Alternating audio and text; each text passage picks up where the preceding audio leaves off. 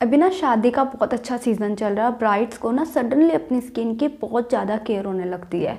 और वो care care के अंदर अपनी स्किन का सत्यानाश कर बैठते हैं क्योंकि वो जितना ज़्यादा अच्छा सोचते हैं, उनकी स्किन उतना ही ज़्यादा डैमेज होती रहती है।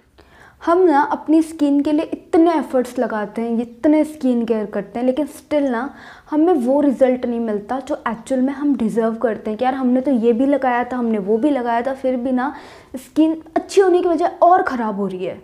तो अगर मैं आपको बताऊँ कि आप ना अपने स्किन केयर के अंदर से विटामिन सी निकाल दो तो आप ट्रस्ट करोगे? बिल्कुल भी नहीं। अगर मैं आपको बोलूँ कि विटामिन सी लगाने से ही आपके एक्चुअल प्रॉब्लम हो रही तब भी आप यकीन करोगे? शायद नहीं।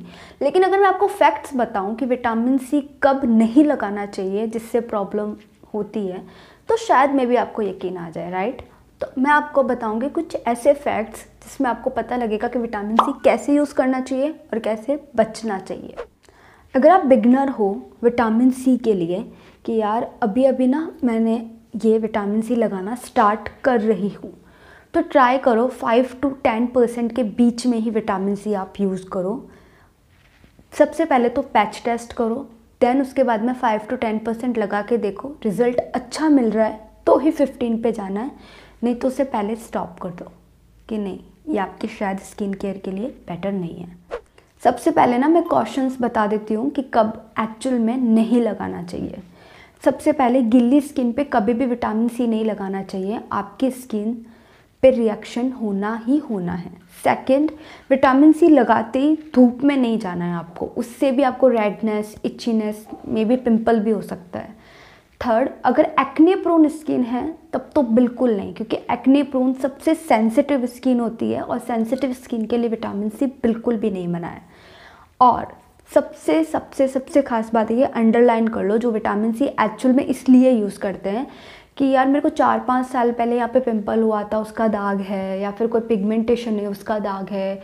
तो मैं ना ज़्यादा मात्रा के अंदर अगर विटामिन सी यूज़ करूँगी या करूँगा तो शायद मे बी वो निशान हमेशा के लिए हट जाए। ये गलती तो बिल्कुल भी नहीं करनी है, इससे आपकी स्किन और ज़्यादा डैमेज होगी, और ज़्यादा ख़राब हो जाएगी। तो ये है इसके कॉशंस एक्चुअल में कब लगाना चाहिए, वो मैं आपको बताती हूँ।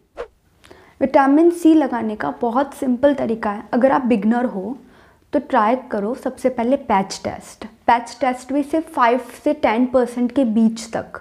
उससे ज़्यादा आपको ऊपर नहीं जाना है। फाइव टू टेन परसेंट लगाया, आपको अगर अच्छा लग रहा है कि हाँ यार, ठीक है, मेरी स्किन ग्लोइंग हो रही है तो फिर आप फिफ्टीन परसेंट पे जा सकते हो। नहीं तो टेन परसेंट पे ही एक दो बार ख़त्म करो उस बोतल को, दैन उसके बाद में फिफ्टीन पे जाओ। ठीक है?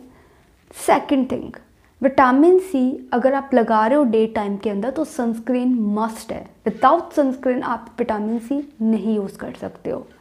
एंड थर्ड सबसे इंपॉर्टेंट कि विटामिन सी जब भी भी आप लगा रहे हो तो साथ में कोई भी सीरम कोई भी एडिशनल स्किन केयर नहीं डालना है, क्योंकि वो ऑटोमेटिकली आपकी स्किन को रिएक्ट ही करेगा, क्योंकि वो खुद ऑलरेडी बहुत सेंसिटिव है। वो खुद अपने साथ में किसी भी तरीके से मिलावट बर्दाश्त नहीं कर पाएगा और आपकी स्किन और ज़्यादा डेंजरस मोड पे चली जाएगी और ज़्यादा आपको पिंपल या फिर इचीनेस इरिटेशन हो सकती है।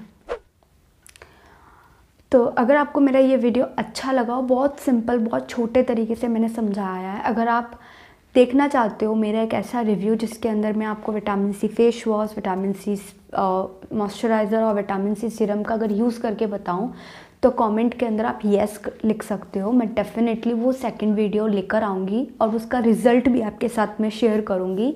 और ये वीडियो आपको कैसा लगा है डेफिनेटली आप मेरे को बता सकते हो कमेंट करके कि यार अच्छा है या फिर कुछ और, कुछ एडिशनल ऐड करना चाहिए, वो भी कमेंट कर सकते हो। अगर अच्छा लगा ये वीडियो लाइक दिस वीडियो ऐसे और वीडियोस देखने के लिए आप मेरा चैनल सब्सक्राइब कर सकते हो। मेरा नाम कोमल है। Bye bye.